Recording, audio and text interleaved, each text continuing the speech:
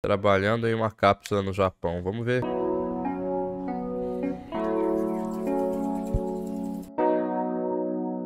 Instagram do Cabra aí, ó, pra quem quiser seguir. O bagulho que eu sempre falo que é o que eu provavelmente que eu mais gosto, que eu mais vou sentir falta se um dia eu vazar aqui do Japão é conveniência. Que mais me impressionou aqui em Tóquio, pelo menos, né?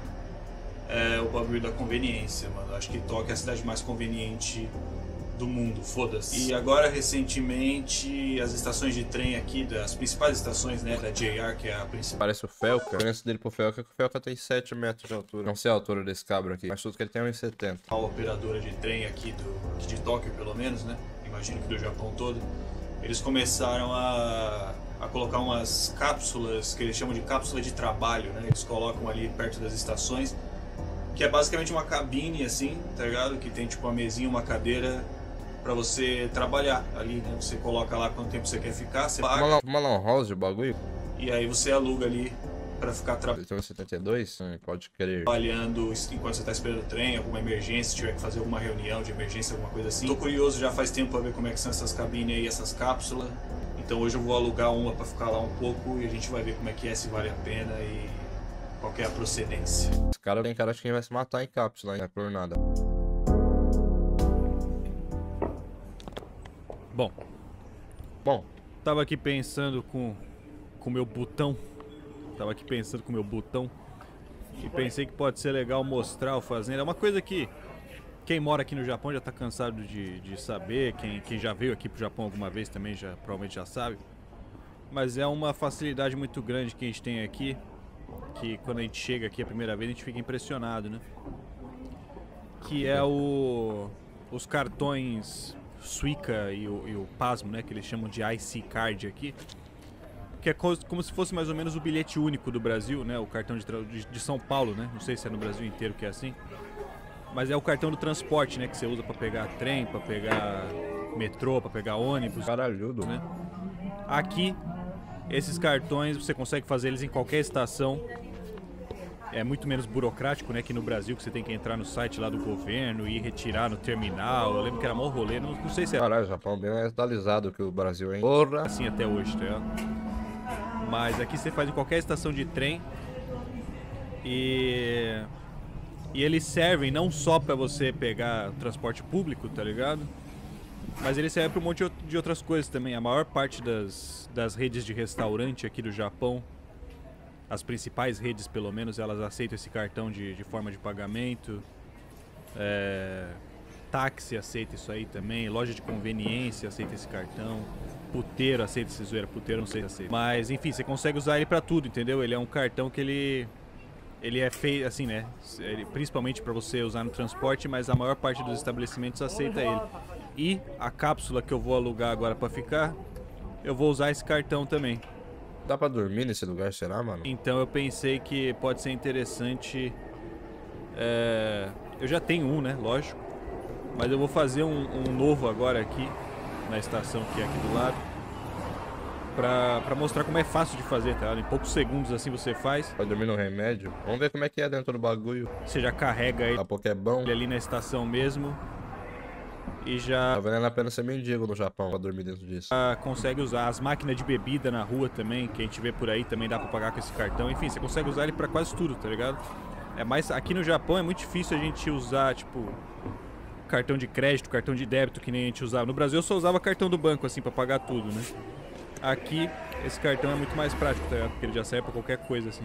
E o bom é que você consegue fazer o cartão sozinho assim, né? Você não precisa falar com ninguém, só colar na máquina. Dá pra você colocar a opção em inglês, né? Se você não fala japonês. Aí, ó. Aí vem aqui em comprar um novo Suica. Aí você pode pôr o nome, eu vou fazer o meu em branco mesmo. Caralho. E aí você escolhe quanto você vai pôr no cartão, né? O cartão ele custa 500 ienes, aí eu vou pôr 10 mil porque, porque eu sou rico.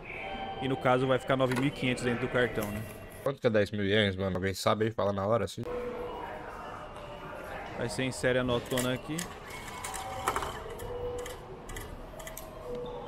500 conto, pode querer.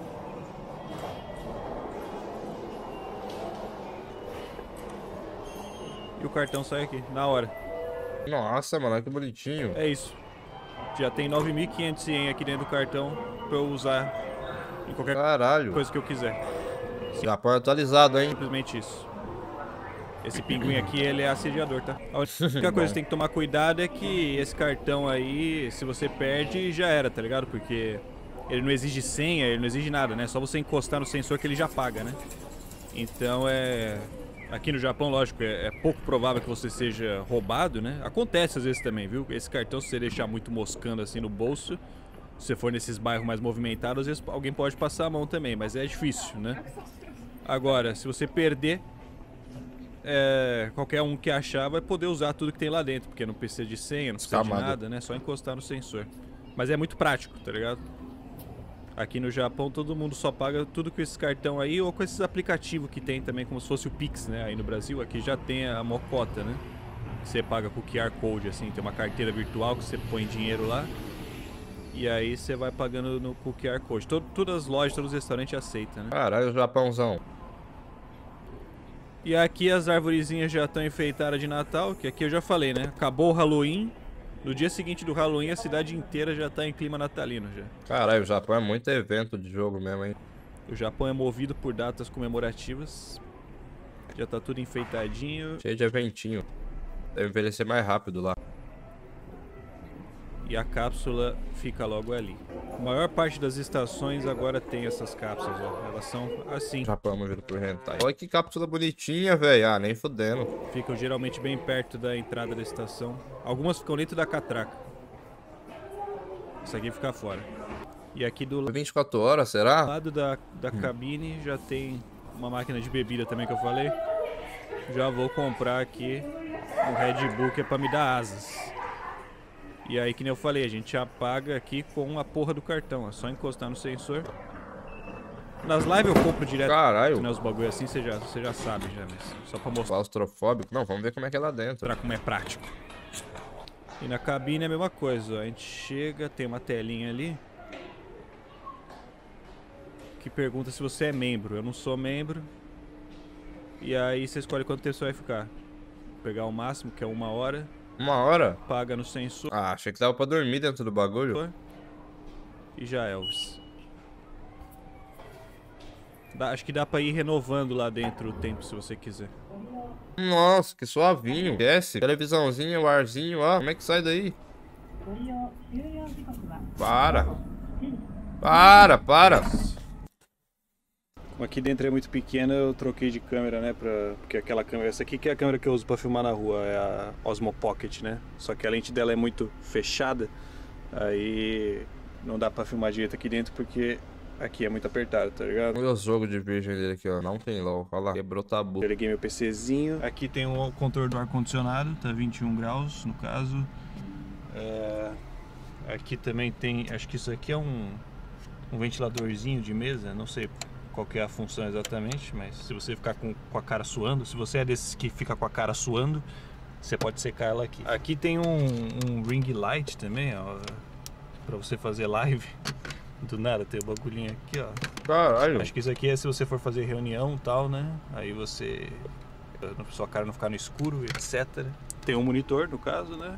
Pra você botar o pornozão, botar o Jave sem censura. Você sabe que aqui no Japão o Jave não tem censura, né? Certeza que os caras baixam punheta nessa cabine, mano. Nem dúvida. Zoeira, tem censura sim. E aqui também tem, ó, isso aqui não é álcool em gel não, tá? Isso aqui é creminho pra punheta. Então- No caso, isso daqui, eles chamam de cabine de trabalho, mas na verdade é uma cabine de punheta mesmo, é uma cápsula de punheta. Aqui tem as tomadas, ó, é, né? Tomada normal, tem porta USB também. No caso, isso aqui é o ring light que tá Motel pra solteiro. plugado no USB aqui, mas se você quiser Não, mas é possível que os caras não fazem sacanagemzinha aí, né? você troca.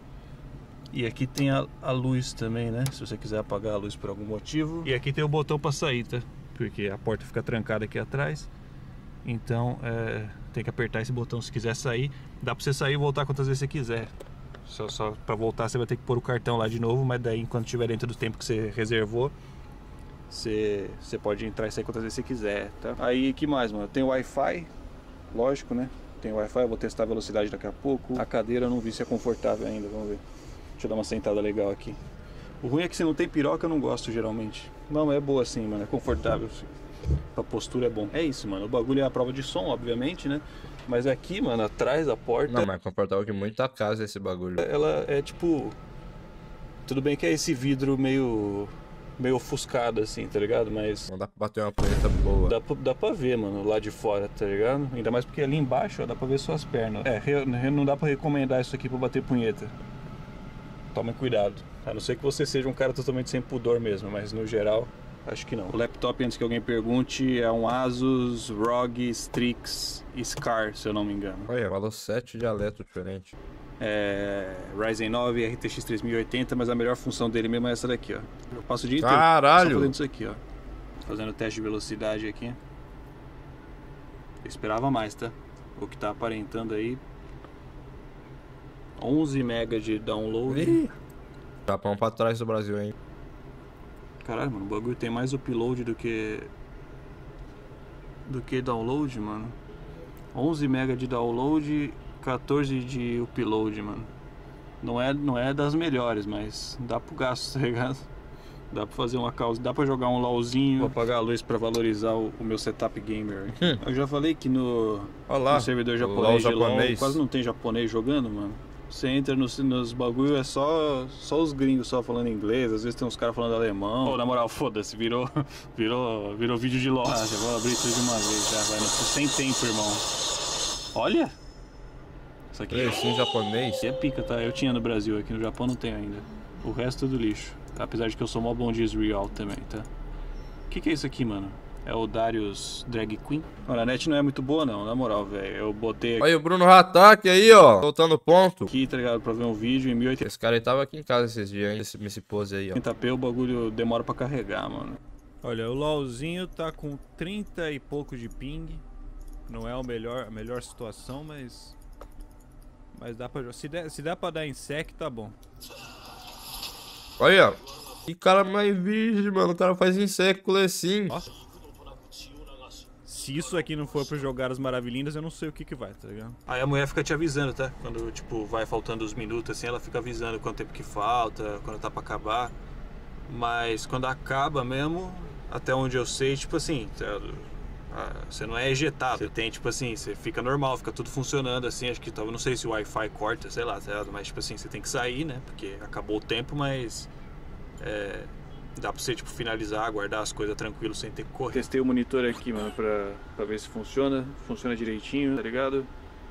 É, ele não é tão, tão brilhante, a cor dele não é tão apurada quanto a do laptop, né? Pra quem trabalha com design que nem eu, é importante que a cor da tela esteja calibrada, né? Mas lógico que, pô, você pagar aqui pra você usar o bagulho quebra um galho, né? E pra trabalhar com duas telas fica bem melhor do que trabalhar com uma só, né? Mesmo que você tenha o laptop, é, ajuda pra caralho isso aqui, tá ligado?